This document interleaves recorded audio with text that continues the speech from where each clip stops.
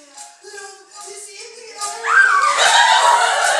You can say that again.